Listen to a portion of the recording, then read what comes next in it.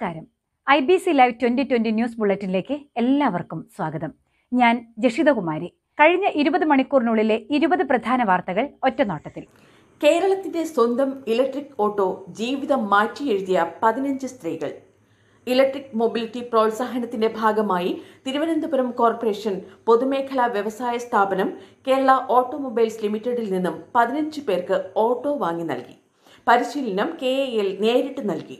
Diesel ഓട്ടോയിലൂടെ ദിവസേന അഞ്ഞൂറ് രൂപ വരെ മാത്രം വരുമാനം ലഭിച്ചിരുന്ന ഇവർ ഇന്ന് ഈ ഓട്ടോയിലൂടെ എണ്ണൂറ് മുതൽ ആയിരം രൂപ വരെ വരുമാനം നേടുന്നു.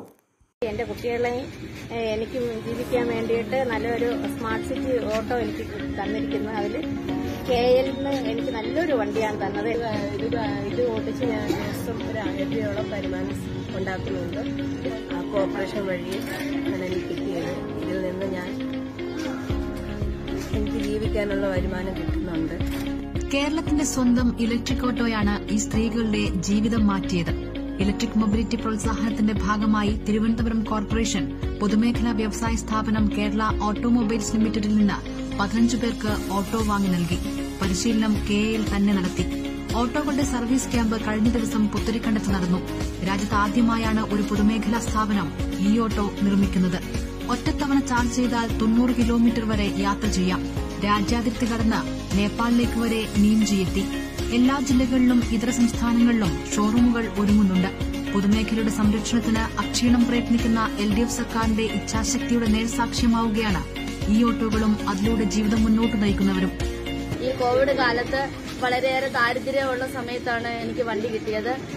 ഇപ്പോൾ എന്റെ ഈ വണ്ടി കൊണ്ട് എന്റെ മക്കൾക്കൊക്കെ ആഹാരവും വസ്ത്രവും പഠന സൗകര്യം എല്ലാം ഒരുക്കി കൊടുക്കാൻ എനിക്ക് സാധിക്കുന്നുണ്ട്. ഇതൊരു നല്ലൊരു വനിതകൾക്ക് ഏറ്റവും അനുയോജ്യമായ ഒരു പ്രവർത്തനമാണ് ഞങ്ങളുടെ കേരള ഗവൺമെന്റ് ഞങ്ങൾക്ക് കാഴ്ചവെച്ചിരിക്കുന്നത് അതിന് എല്ലാവർക്കും അഭിനന്ദനം. മുതിർന്ന കോൺഗ്രസ് നേതാവ് അഹമ്മദ് പട്ടേൽ അന്തരിച്ചു.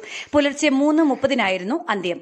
കോവിഡ് ബാധിച്ചതിനെ തുടർന്ന് ആരോഗ്യസ്ഥിതി മോശമായിരുന്നു. മരണവിവരം മകൻ ഫൈസൽ പട്ടേലാണ് ട്വിറ്ററിലൂടെ പുറത്തുവിട്ടത്. നിലവിൽ ഗുജറാത്തിൽ നിന്നുള്ള രാജ്യസഭാംഗമാണ്. മൂന്ന് തവണ ലോക്സഭയിലും നാല് തവണ രാജ്യസഭയിലും അംഗമായി.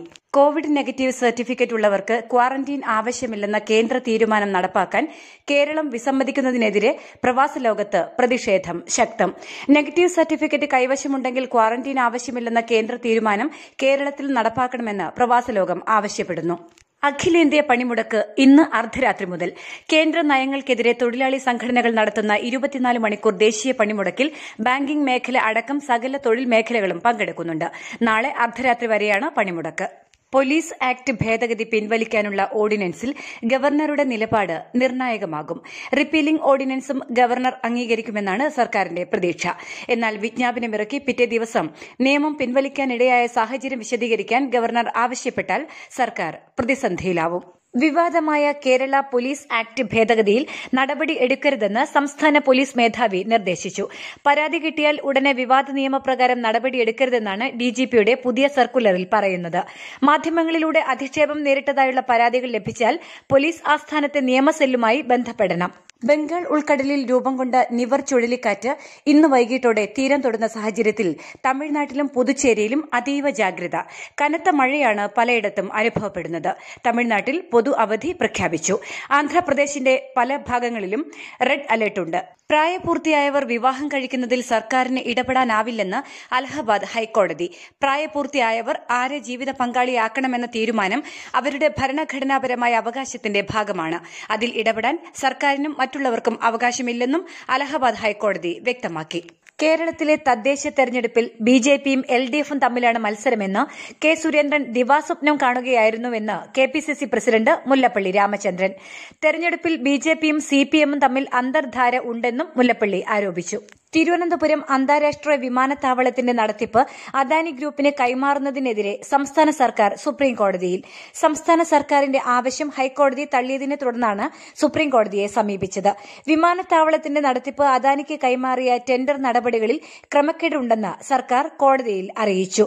വിമാനത്താവള നടത്തിപ്പ് കൈമാറുന്നതിൽ പൊതു താൽപര്യം പരിഗണിച്ചില്ല. ബംഗാളിൽ നാനൂറ്റി എൺപത് സി പി ഐ എം പ്രവർത്തകർ ബി ജെ പിയിൽ ചേർന്നതായി ടെലിഗ്രാഫ് ഇന്ത്യ റിപ്പോർട്ട്. അഞ്ഞൂറിന് മുകളിൽ പുതിയ പ്രവർത്തകരാണ് ബി ജെ പിയിൽ ചേർന്നത്. ഇതിൽ നാനൂറ്റി എൺപത് പേരും സി പി ഐ എം വിട്ടവരാണെന്നാണ് റിപ്പോർട്ട്. വാർത്ത സ്ഥിരീകരിച്ച് B J P Bengal president Dilip Ghosh ട്വിറ്ററിൽ ഫോട്ടോകളും പങ്കുവച്ചിട്ടുണ്ട്. സംസ്ഥാനത്ത് കോവിഡ് നിയന്ത്രണ മാനദണ്ഡങ്ങളിൽ വീണ്ടും ഇളവുകൾ പ്രഖ്യാപിച്ചു.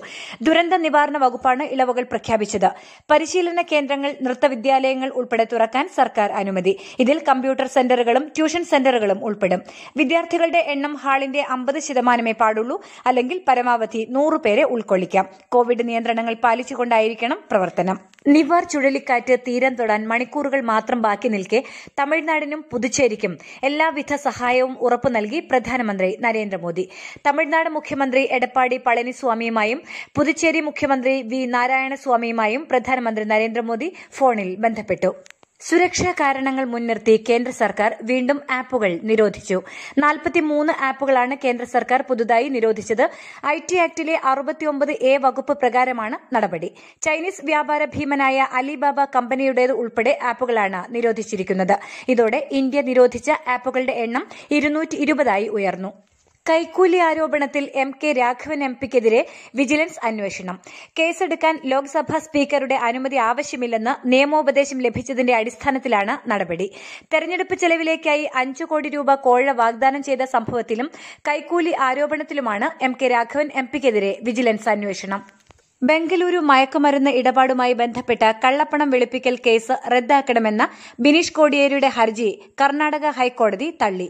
ഇഡിയുടെ അറസ്റ്റ് നടപടിക്രമങ്ങൾ പാലിച്ചല്ലെന്നും കേസ് അസാധുവാക്കണമെന്നുമായിരുന്നു ബിനീഷിന്റെ ആവശ്യം. എന്നാൽ ഇഡി ഇക്കാര്യത്തിൽ നൽകിയ വിശദീകരണം കോടതി അംഗീകരിച്ചു. പാലാരിവട്ടം പാലം അഴിമതി കേസിൽ അറസ്റ്റിലായ മുൻ മന്ത്രി വി കെ ഇബ്രാഹിം കുഞ്ഞിന് ഗുരുതരമായ ആരോഗ്യ പ്രശ്നങ്ങളുണ്ടെന്ന് മെഡിക്കൽ റിപ്പോർട്ട്. ഗുരുതര ആരോഗ്യ പ്രശ്നമുള്ള ഇബ്രാഹിം കുഞ്ഞിനെ വിജിലൻസ് കസ്റ്റഡിയിൽ വിടാനാകില്ലെന്ന് മൂവാറ്റുപുഴ വിജിലൻസ് കോടതി വ്യക്തമാക്കി. ചികിത്സ സർക്കാർ ആശുപത്രിയിലേക്ക് മാറ്റാൻ സാധിക്കുമോ എന്നറിയിക്കാൻ എറണാകുളം ഡിഎംഒക്ക് കോടതി നിർദ്ദേശം നൽകി. കസ്റ്റഡി അപേക്ഷയും ജാമ്യാപേക്ഷയും നാളെ കോടതി പരിഗണിക്കും. ശിവസേന എം എൽ എയുടെ വസതിയിൽ എൻഫോഴ്സ്മെന്റ് ഡയറക്ടറേറ്റ് റെയ്ഡ്. നടി കങ്കണ റണാവത്തിനെതിരെ രാജ്യദ്രോഹ കുറ്റം ചുമത്തണമെന്നാവശ്യപ്പെട്ട് വാർത്തകളിൽ ഇടം നേടിയ Shiv Sena M L A Pratap നായിക്കിന്റെ വസതിയിലാണ് ഇ ഡി റെയ്ഡ്. കള്ളപ്പണം വെളുപ്പിച്ചെന്ന കേസിൽ മുംബൈയിലും താനെയിലുമായി ഇദ്ദേഹത്തിന്റെ വസതിയിലും ഓഫീസിലുമായാണ് റെയ്ഡ് നടക്കുന്നത്. സ്വർണക്കടത്തു കേസിൽ മുഖ്യമന്ത്രിയുടെ മുൻ പ്രിൻസിപ്പൽ സെക്രട്ടറി എം ശിവശങ്കറിന്റെ അറസ്റ്റ് കസ്റ്റംസ് രേഖപ്പെടുത്തി. കാക്കനാട് ജില്ലാ ജയിലിലെത്തിയാണ് അറസ്റ്റ് രേഖപ്പെടുത്തിയത്. കിഫ്ബി വിവാദം കേരളത്തിന്റെ വികസനത്തെ തകർക്കാനുള്ള ശ്രമമെന്ന് മുഖ്യമന്ത്രി പിണറായി വിജയൻ. കിഫ്ബിക്കെതിരായ വ്യാജ കഥകളും അപവാദങ്ങളും പ്രചരിപ്പിക്കുന്നവർ നാടിനും നാട്ടുകാർക്കും എതിരാണ്. അത്തരക്കാരുടെ മനോവൈകല്യത്തിന് വഴങ്ങി കിഫ്ബി പദ്ധതികൾ ഉപേക്ഷിക്കില്ലെന്നും മുഖ്യമന്ത്രി പറഞ്ഞു. ഇന്ന് സന്നിധാനത്ത് ദേവസ്വം താൽക്കാലിക ജീവനക്കാരന് കോവിഡ് സ്ഥിരീകരിച്ചതിനെ തുടർന്ന് ആശങ്ക വേണ്ടെന്ന് Devaswom board executive officer Rajendra Prasad. Covid സ്ഥിരീകരിച്ച ജീവനക്കാരനെയും പ്രൈമറി കോൺടാക്ടിലുള്ള രണ്ടുപേരെയും ടെസ്റ്റിനായി പമ്പയിലേക്ക് അയച്ചു. ഇവർ ജോലി ചെയ്തിരുന്ന സ്ഥലങ്ങളും റൂമുകളും അണുവിമുക്തമാക്കി. കാര്യങ്ങൾ ചെയ്യുന്നുണ്ട്. അപ്പോൾ ഒരു കോവിഡ് പോസിറ്റീവായൊരു സംഭവം ഉണ്ടായി. എങ്കിൽ തന്നെ അവർ ഉടൻ തന്നെ അവർ ഇടപെടുകയും അത് യാതൊരു രീതിയിലും വ്യാപനം ഉണ്ടാകാത്ത രീതിയിലുള്ള എല്ലാ സംഭവ വികാസങ്ങളും അവർ ചെയ്തിട്ടുണ്ട്. അതിന്റെ കൂട്ടത്തിൽ വന്ന് ഒരാളോട് കോവിഡ് പോസിറ്റീവായ ആൾക്ക് കൂടെ വന്നിരുന്ന സമ്പർക്കത്തിൽ വന്നിരുന്ന മൂന്ന് പേരിൽ ഉടൻ തന്നെ പരിശോധിച്ചു.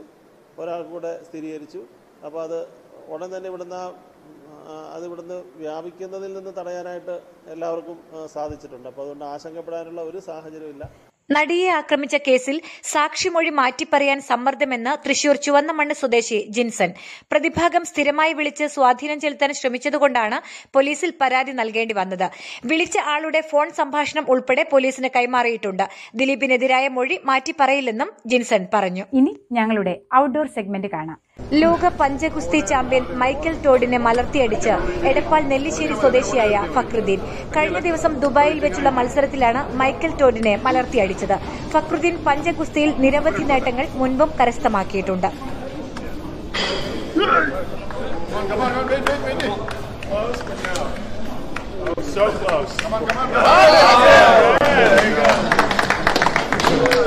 Yeah.